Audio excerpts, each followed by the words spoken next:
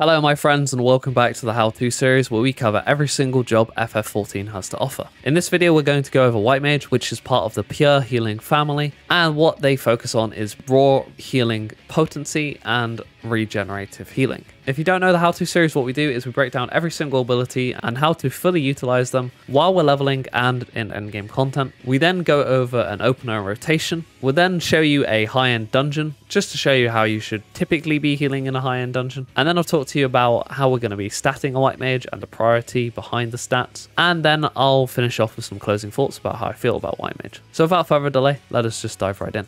So first we'll go over the healing abilities. First we have Cure 1 and Cure 2. Cure 1 is accessed at level 2 and it's our single target heal for less MP than Cure 2. Once we get to level 32 we get a trait called Free Cure and this has a 15% chance that every time we use a Cure 1 the next Cure 2 will cost no MP. Which leads me on to Cure 2. It's just our upgraded single target heal. Typically we won't use this too much when it comes to endgame content but as you're leveling do take note that you will be using this fairly often. It costs a lot of MP, so do be wary of that. You might be using Cure 1 more than Cure 2 when it comes to leveling content. And once you get higher, you might ignore Cure 1 and use more Cure 2s. But this will be up to your playstyle and how low you get the tank to drop and all that sort of good stuff. Which leads me on to regen. Now regen is our single target regen and what we do is we put this on the tank and once this is on the tank we typically keep this up on the tank when we're doing low end content so dungeons and stuff and this is going to save us having to use GCD heals like Cure 1 and Cure 2 on the tank and it's going to enable us to do more damage overall in the course of a dungeon pull or a raid fight, for instance. We then have Medica 1 and Medica 2. So a bit like if you watched Astro, then this is like Aspected Helios and Helios. So Medica 1 is just a raw AoE heal, and we get this at level 10. And then Medica 2 is our regen AoE heal, and typically we want to use this more over Medica 1 because it's going to give everyone a regen and it's just more MP efficient overall and it's just going to heal everyone overall a lot more. Typically when it comes to a raid wide what we do is we use a Medica 2 and then if the raid wide is really offering us too much damage, then we'll use a Medica 1 if we don't have access to any OGCD heals. And typically we only do this in low end content as well because when we get a bit higher end content, then we are less reliant on Medica 1 and Medica 2. It's the same for Cure 1 and Cure 2. Once we get more OGCD heals, we're a lot less reliant on Medica 1 and Medica 2. Which leads me on to Cure 3. Cure 3 is also an AoE heal, but you put it on a particular target so you can target yourself and when you use this heal it's going to create a radius around you, a 6 yalm radius, so not very big, and it's going to heal everyone around that radius for 600 potency. This saw a lot of use back in the day, but currently it doesn't see too much use right now, especially in low-end content. Sometimes in raid instances, when damage is really going out and really hurting everyone, then we tend to stack up together and then cure free spam and get us through all the damage and stuff. You don't see it too often, but do keep in mind that you do have this ability, and that's typically where it gets used most in. We then have Benediction. This is on a 3 minute cooldown, 180 seconds. You get it level 50 and it literally just restores all HP to that target.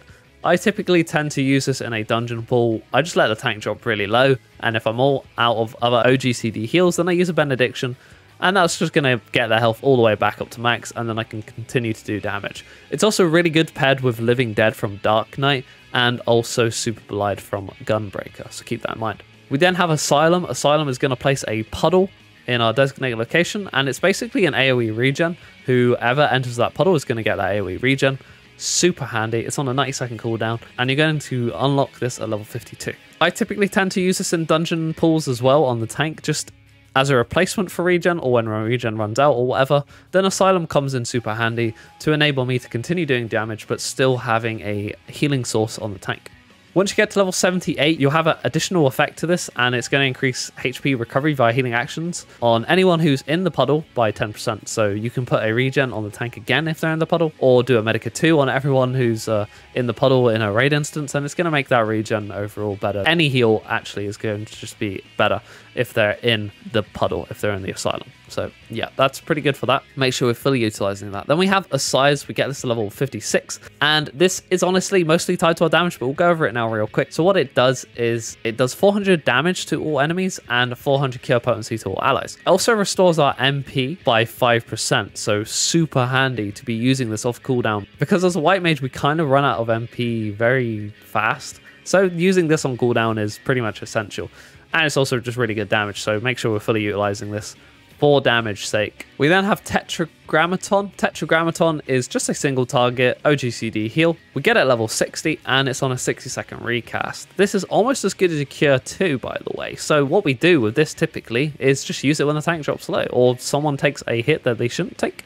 Then we can use Tetra on them and it's just going to give them a nice nifty heal and we might not have to worry about them then and it might save us a GCD heal. So overall, really good. Make sure we're fully utilizing this. We then have Divine Benison. This is on a 30 second cooldown, so really short, and we get a level 66. It's going to create a barrier around a target for the equivalent of 500 cure potency. It won't heal them for that, it will just make a barrier of that strength. This is really good on dungeon pool, so put it on the tank in a dungeon pool or put it on the tank in a tank buster or filler damage. Very useful, very versatile. We then have Plenary Indulgence. Now this is super nifty, super handy. We get it at level 70 and it's on a 60 second recast. It's going to grant a buff called Confession to everyone and that's going to last 10 seconds.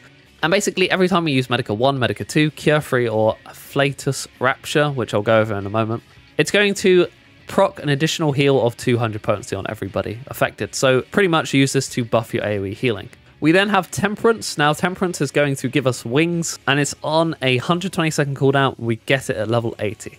It's going to increase our healing magic potency by 20%, and it's also going to reduce the damage taken by yourself and nearby party members by 10%. So typically I tend to use this on raid wides, but just before the raid wide damage goes out in preparation, so I'm mitigating the damage and then getting a healing buff as well. And I also use this in dungeon pools on the tank as a cooldown for them, because I feel like it's just handy for them to have an extra cooldown if they, you know, are lacking that cooldown. And whatnot. It's just super versatile, super handy, so make sure we're fully utilizing this. We then have Aquaveil. This is on a 60 second cooldown. Its last 8 seconds and it is unlocked at level 86. It's going to reduce the target's damage taken by 15%. So this is like a tank cooldown, but you can put it on anyone. So I typically tend to put this on the tank when they do a pull in a dungeon, and I also use this on a tank buster or even filler damage in raids and such. So again, very versatile and it's on an incredibly short cooldown, so make sure we're really getting full usage out of this. We then have a Liturgy of the Bell. Now, Liturgy of the Bell has a very long tooltip, so let me explain. It's on 180 second cooldown, and we get this at level 90. It's going to put a little flower on the floor, and basically this flower is going to last 15 seconds, and it's going to grant ourselves 5 stacks of Liturgy of the Bell. Basically, every time we take damage with this buff up, it's going to expend one of those stacks, and it's going to give everyone a Cure of 400 potency, so incredibly strong by the way, for AoEs. And it can do this up to 5 times. If for any reason that you don't take 5 hits in succession, then once the duration has ran out, it's going to convert all the remaining stacks into 200 cure potency each. So if you have four stacks left, then it's going to be 800 cure potency across everyone in your party. So it doesn't get wasted if it runs out either. Of course, it doesn't get as much value if you don't take all the damage, but it doesn't get wasted at least, and it's still super good. A really good instance for using this is obviously raid wides, right? When it's AoE damage coming out, but also when a boss in particular, any boss really, but when a boss uses a AoE and it causes a bleed effect or something like that, a debuff that's going to really hurt, then this is going to proc on you every time that bleed ticks and of course the impact of the AoE. And it's just going to heal everyone continuously five times over. So really handy for those kind of situations. So that's my advice from me to you. Really handy for particular fights that might have bleed effects and stuff like that. Let's move on to our last healing spells, which are Afflatus Solace and Afflatus Rapture. Now, these two are on the GCD, and basically all they are is Afflatus Solace is a single target heal, and Afflatus Rapture is a AoE heal. Afflatus Solace, as you can see, is doing the same potency as a Cure 2, but it doesn't cost any MP, so super handy and super good to use this on single target when we need to. And Afflatus Rapture is also the same potency as a Medica 1, so again, using this over Medica 1 and over Cures is essential, more or less, and it's really important to do this. And of course, to make sense of how we are going to use these is by explaining the Lily gauge. So once we get to level 52 is once we get access to a Afflatus Solace at the least, is we're going to have the Lily gauge, and for every 30 seconds in combat, we're going to add a Lily to our gauge, and we can hold up to three Lilies on our gauge. Every time we use an Afflatus Solace or an Afflatus Rapture, this is going to convert one of those lilies into a Blood Lily. And these blood lilies is once we have three of these blood lilies, then we're going to have access to Afflatus Misery, which leads me on to Afflatus Misery, which is a AoE on a particular target. So it's going to cleave that that target and every targets around it. the first hit is going to do 900 potency, and then all the other enemies will take 25% less of the initial potency. So this is really good for AoE damage, and it's also really good for single target when a raid buff is up then we see a raid buff and we have misery stacks, then go for it, use that misery. It's going to really increase our damage output overall. There's, there's two optimization ways to deal with this, by the way, which I'm going to go into now. So in a raid instance, when a boss becomes untargetable, then what we can do is we can actually just use Raptures, use Solaces, and farm Blood Lilies if we don't need to use Solace or Rapture later on into the fight. This is going to make it so we have free Blood Lilies when the boss comes back down, and then we can use Misery when we have raid buffs, so increasing our damage output overall. And then say in a dungeon instance, if we are confident in our own healing abilities or the tank's capabilities, then what we can do is between pulls, we can use Solace on the tank or just Rapture, whatever, right? And we can farm our Blood Lilies again. And then once the tank has pulled a big pack, we can then use Misery on the pack and we're just going to do a massive AoE and it's just going to be big deeps overall. So that's just some optimization to keep in mind, some advice from me to you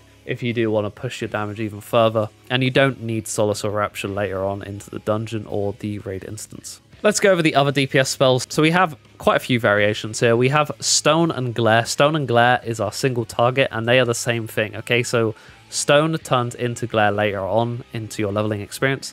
So when I'm talking about Glare or Stone, it means Glare or Stone. This is just our single target DPS spell, so make sure we're using this on single target. We then have Aero and Dia. Again, same as with Glare and Stone.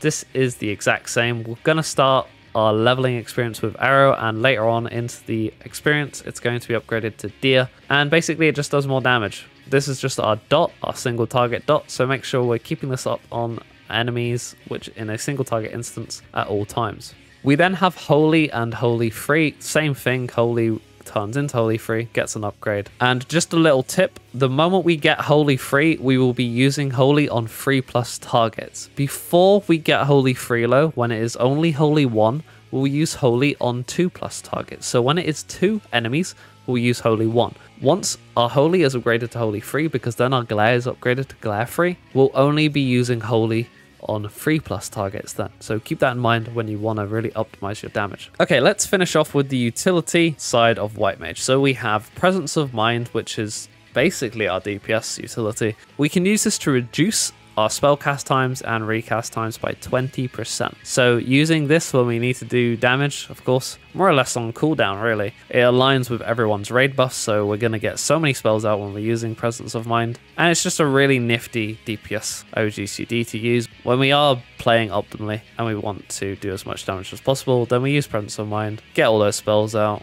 and yeah, just increase our damage overall. We then have Thin Air. Now, Thin Air is quite a weird one actually since the change. We get it at level 58. It's on a 60 second recast and it has two charges. Once we use this, it's going to allow the next spell that we use to cost no MP. Now, typically what I do is if I am DPSing and only DPSing, then I'll use for now one of my DPS spells, of course, which isn't huge at all because DPS spells cost so low MP. But if I need to heal, then using Thin Air on a Cure 2, a Medica 2, or a Resurrect, which we'll go into in a moment, will completely nullify that MP required, and that's just going to save us a lot of pain. So maybe if we want, use one Thin Air, save that MP, and then maybe keep one in reserve for a Resurrect when we're, say, in a progression instance, and we want to use a Resurrect, and it not cost any MP, then we use Thin Air, Resurrect, boom. We have not used any MP for that Resurrect, so super handy for that. We then have Raise, which is our Resurrect.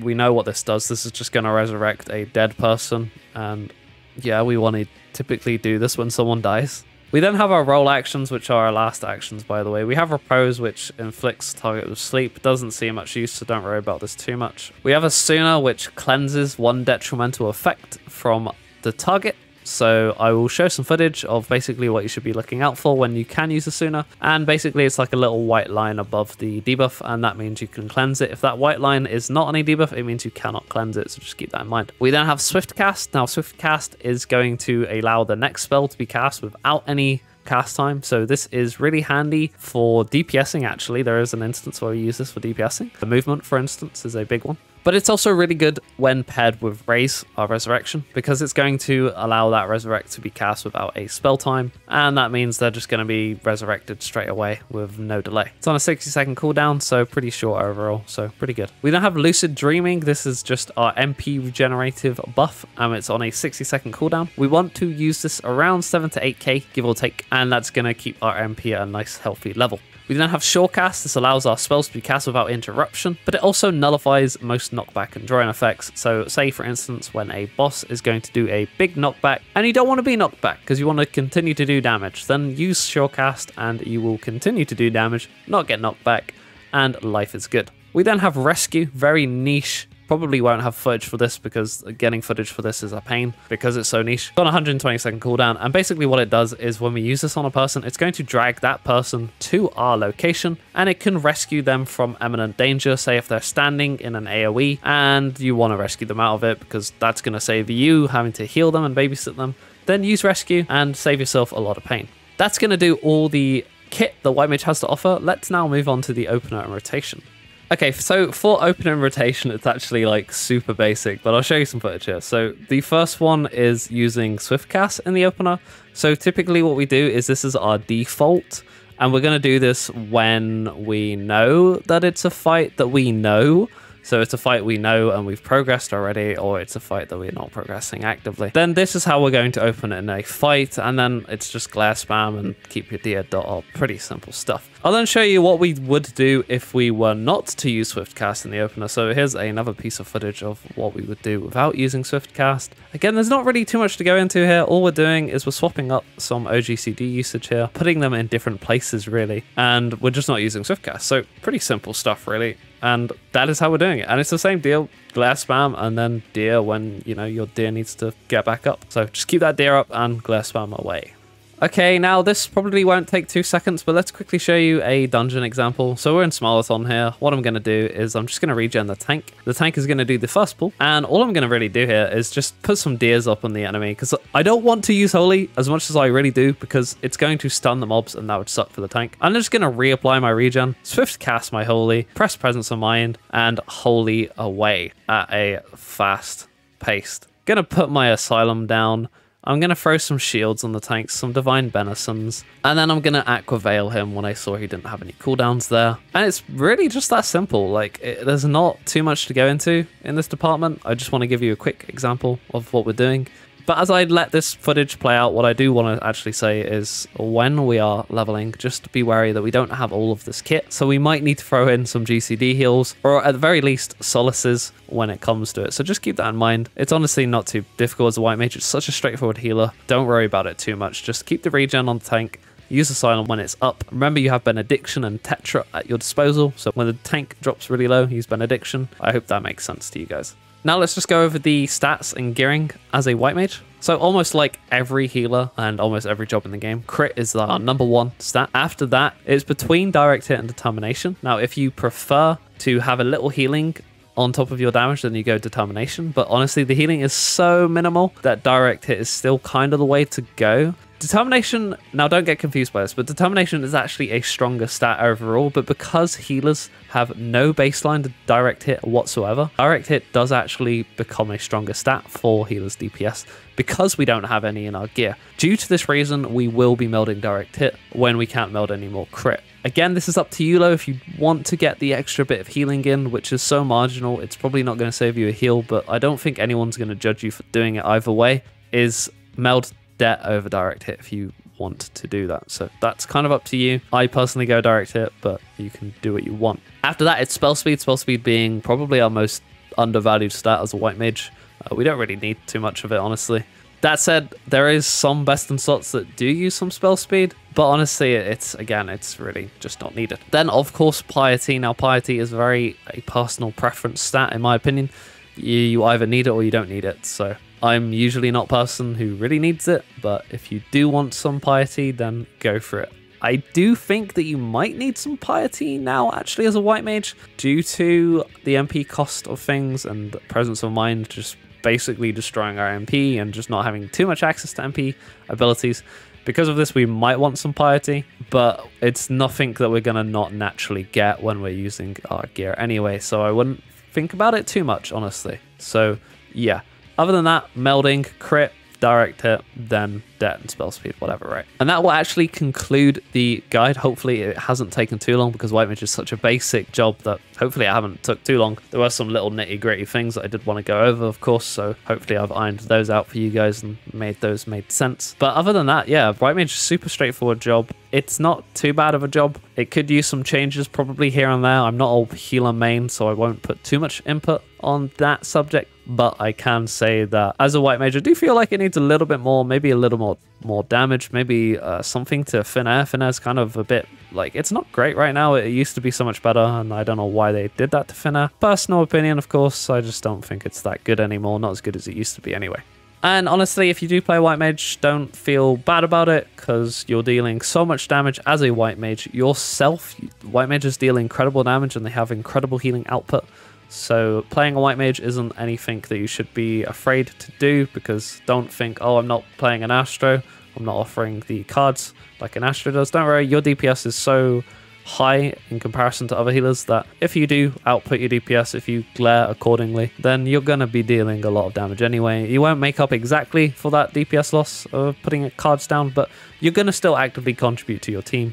So don't worry about that, honestly. It's only going to matter when it comes to like doing doing speed kills and stuff like that and not even an ultimate content, honestly. So don't worry about it too much if you're white mage main. Your class, your job is still okay, so don't worry about that at all. You're still in a good place. Anyway, that'll do it for my closing thoughts. Not too much about it. I, I like white mage. It's a fun job. It's very straightforward. It's very comfortable. It's very easy to play. It's just a welcoming healer in general. There's a few things you can do to optimize it and make it a bit better, but other than that, it's honestly very straightforward. So yeah, that'll do it. Thank you so much for watching. I really do appreciate your time. Like the video if you did enjoy it. I would appreciate that. Leave a comment if you think I missed anything, or just let me know how you're finding White Mage in this expansion. And if you want, subscribe. If you enjoy my content, why not? Give me a subscribe. I cover content guides, job guides, and all sorts. I've actually recently put my feet into Blue Mage, so hopefully when Blue Mage goes to level 80, I can offer some guides on the 80 content for Blue Mage as well, so look forward to that. I'll also be covering the Ultimate that comes out in a few months. Once I clear, I will be making a full and comprehensive guide for that, and I think that's going to kick off pretty well, so I do look forward to that actually quite a bit,